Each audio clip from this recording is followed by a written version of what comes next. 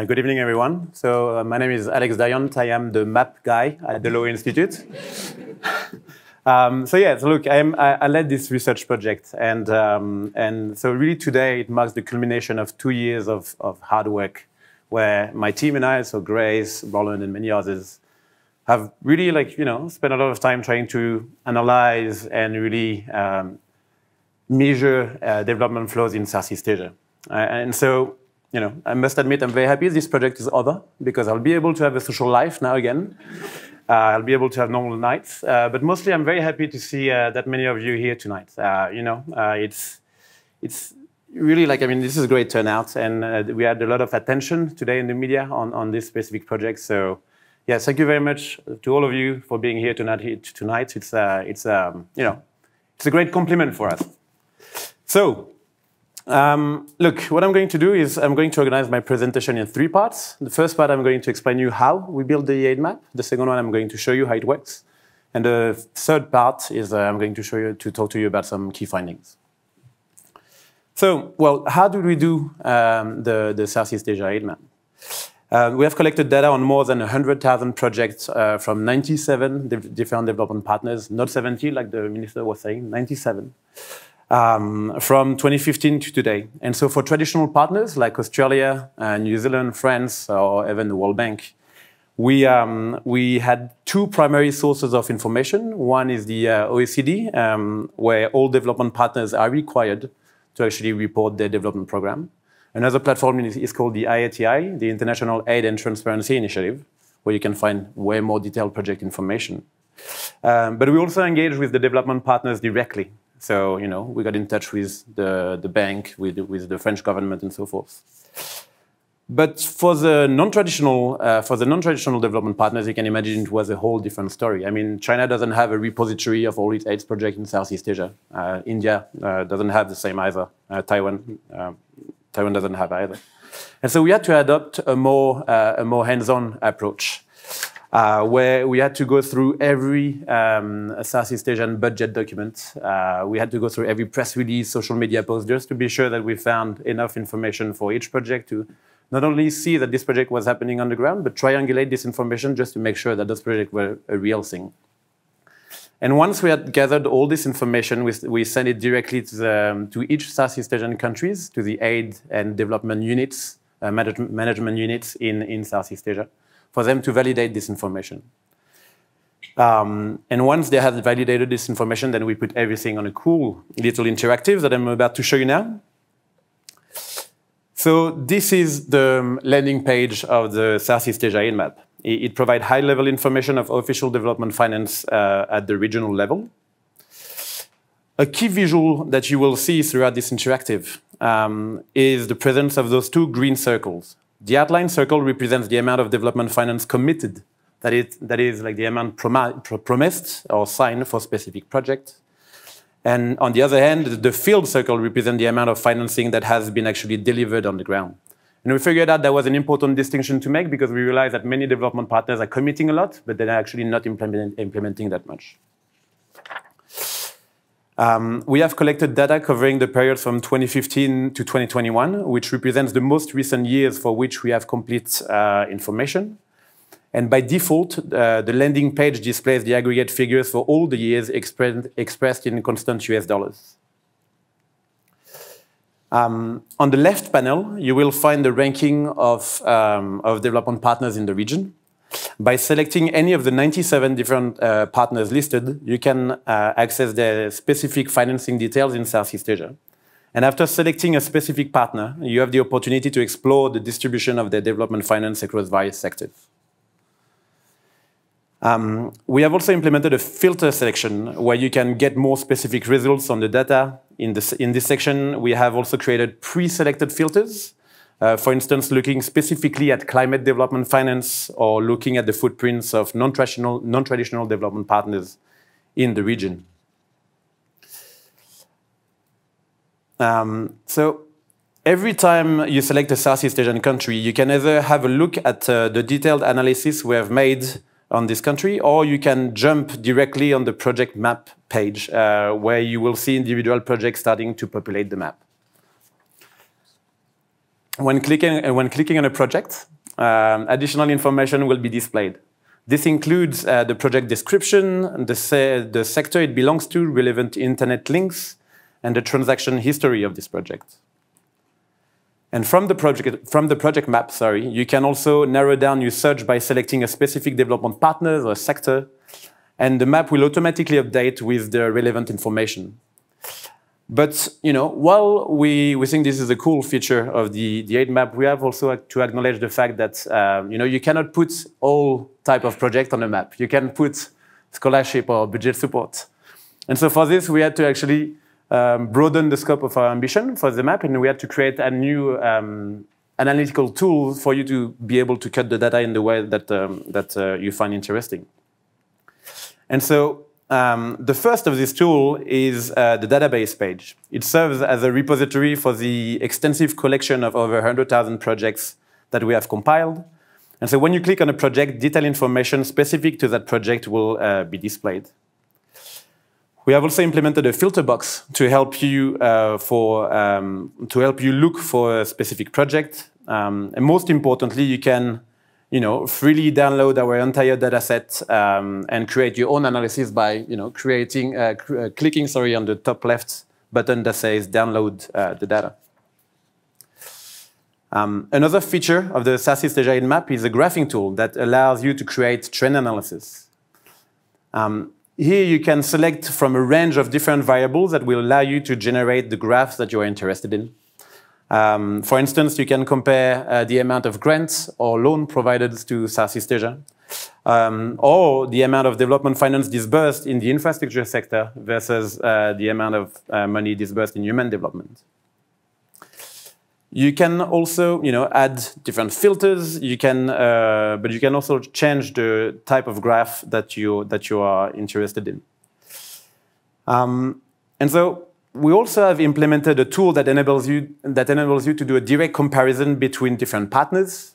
Uh, for instance, user can easily compare Australia's development finance in Southeast Asia to that of China. And once selected, this section provides a wealth of information on, about, about the, these two partners, including their allocation on development finance, the sectors they prioritize for financing, uh, and their major projects in the region. And so obviously you can do the same with each Southeast Asian countries as well. Yes, I like that someone likes this, uh, this picture. Could you do, yes. Thank you, thank you. Um, and so, you know, from our menu section, um, you can access all the information on the website, notably the many uh, country analysis that uh, I've mentioned before, but also um, a series of thematic analysis on climate, on uh, infrastructure, and so forth. Um, and more importantly, you can access our, um, our methodology. You can download our, the whole data set again. And one of the things you can do also uh, is actually, um, you know, have our key finding reports, but you should all have one, uh, be seated on one of them. So this is it for like the interactive. Now let me talk to you about our key findings. Did you like it though? Nice? Yes, I like this. A round of applause, please. Thank you very much. Okay, key findings. Um, yeah, so the first key findings is that you know between 2015 to 2021, Southeast Asia received about 200 billion dollars in official development finance. So just as a reminder, for us, official development finance is uh, the combination of grants, concessional loans, so loans that are below market rates, and non-concessional loans. So those loans are a bit more expensive to the, to the concessional loans, but they still have the purpose for development. So Southeast Asia receives around $28 billion per year in official development finance, mostly targeted at the most pressing development needs of, of uh, the region, such as health, education, social protection, but also infrastructure. Almost half of it is concessional by nature, uh, so meaning it, uh, it is under the form of grants or uh, cheap loans, and the other half is actually non-concessional loans that are mostly provided by China's main policy bank, so the Exim Bank of China or the Chinese Development Bank, but also by the, um, the World Bank and the, uh, the Asian Development Bank. In terms of trends, development financing has been decreasing over the years, um, mostly reflecting a diminution of uh, in ODF, uh, in official development finance disbursed in both Indonesia and Vietnam, that together account for almost half of all the development finance going to Southeast Asia. And as you can see, there is a peak in 2020. So like the COVID-19 in 2020 and the reactivity of development partners means or led to like a 55% increase in, in funding where official development finance reached, reached a peak of $35 billion. So where is this funding coming from? Well, as you can see, China is the largest uh, development partners in the region, but not by far. Um, it is followed by the multilateral development banks, so the ADB and the World Bank, uh, that focus actually less, uh, less of their uh, development finance on infrastructure. So infrastructure is the, the yellow bar that you can see on this graph. And so and Japan is the largest bilateral traditional uh, partner of the region. So where is this funding going? Well, most of it is directed towards the region most emerging and developing economies. Uh, so really we're excluding uh, Singapore and Brunei, although you could find project information for Singapore and Brunei in our, in our map.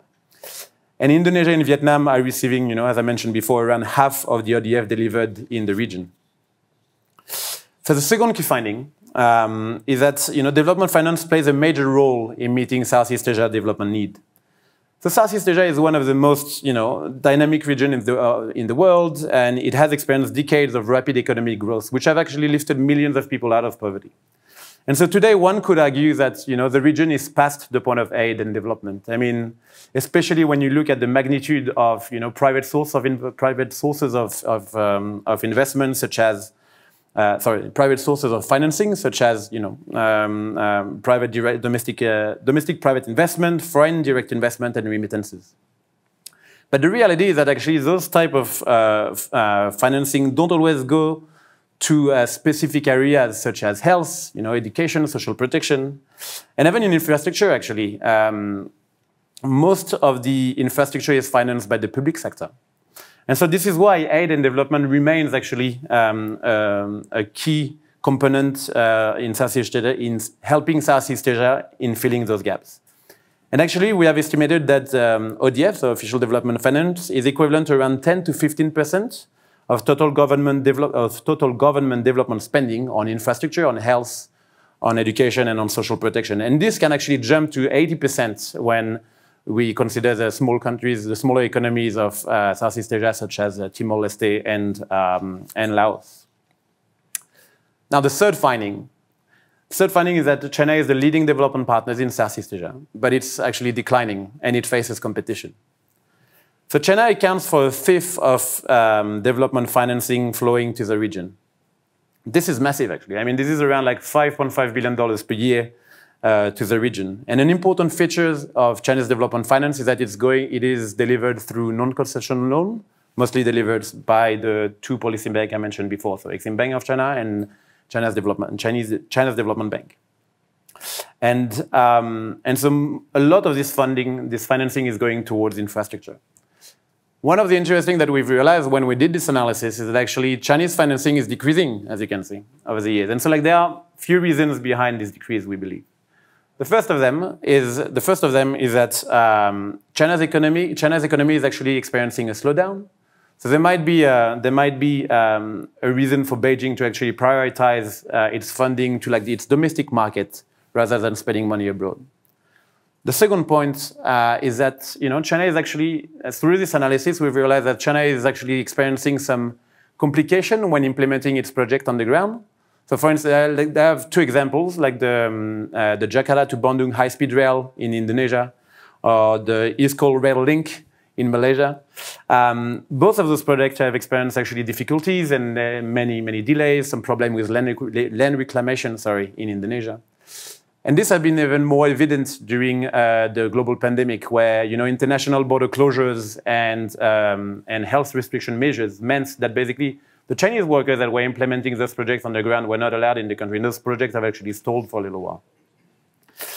Um, and the third reason behind China's Chinese uh, financing decrease is um, it's actually a, a, phenomenon that happens all around the world, but it also happened in Southeast Asia. Is that China is providing a lot of financing, a lot of, a lot of financing through loans, and some of the countries struggle to actually pay back, the, pay back those loans. In, in Southeast Asia, for instance, Laos has already asked twice, the, twice China to push back the debt repayments uh, that Laos owed to, to China.